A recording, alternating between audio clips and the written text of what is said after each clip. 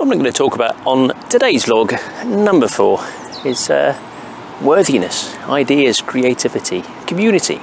So, uh, when I first started, it was a long time ago now, I didn't really know what I was doing. Uh, arguably, I think a lot of us get to a point where we feel we're not worthy or we're not capable, and uh, it paralyzes us. It gets us to a point where we think, I shouldn't do this, or I shouldn't even try. But guess what? I think most people, when they do get out there, surprise themselves. And you need to have the philosophy that you need to get out there, try and fail, and use failure as a learning tool to get to success.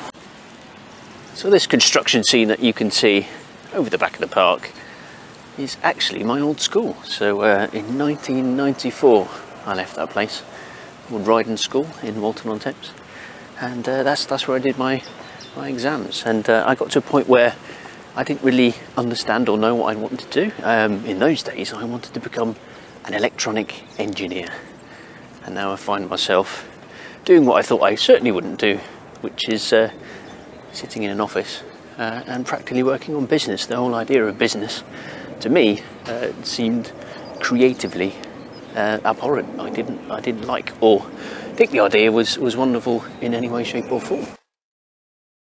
Found the act of being an entrepreneur certainly a long time ago, before Shoreditch, before I even knew what Silicon Valley was, uh, very, very isolating because I didn't have anyone to talk to. Um, I kind of bumbled around, I looked in shared offices and things like that, and I needed the practical help in terms of getting there. So I think we're blessed in these modern times with the internet, with online communities, with things like Slack or uh, Meetup.com, uh, Eventbrite, where we can go and we can seek out like-minded people, where we can actually find, locate, and share our experiences. And uh, the reason why I mentor and I'm quite involved in the UK scene in terms of accelerators and, and startup hubs is that I found it difficult when I started, and I didn't get the practical help and even advice or encouragement that I needed to carry on going. And, and I'm still here now and I'm absolutely loving it.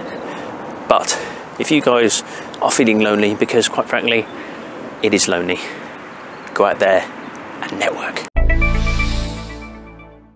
So, my final thought today, boys and girls, is on uh, creativity. And I think we all struggle to a point where we don't think we have the ideas or the practical knowledge to actually drive ourselves forward. But I would say, get out of your comfort zone have a look at nature. Look at this blossom, it's beautiful.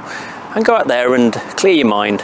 Get yourself out of the zone that you used to. Get away from the desk, get away from the coffee shop, go for a walk, and you find your creative juices will flow. Guarantee it. Please remember to give me a thumbs up, give me a comment below, please like, please share, and please, please, please subscribe. It means a lot to me.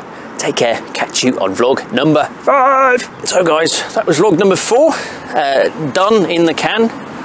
Probably editing like a crazy man a bit later, but uh, that's how it goes. So, uh, I will be back. Take care. I need your clothes, your boots, and your motorcycle. Oh, hang on, that's Terminator. My name is Simon Barry. I am passionate about helping you with your startup. If you'd like to follow me and get my tips, you can catch me on Twitter and Instagram at Eggwhisk, Snapchat, fulbar55, or email me simon.barry at gmail.com.